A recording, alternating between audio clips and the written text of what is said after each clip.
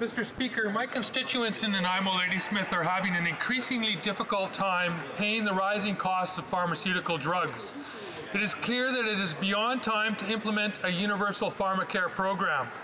The new NAFTA program includes provisions that extend patents on drugs from 8 years to 10 years and will keep the cost of drugs high for consumers longer.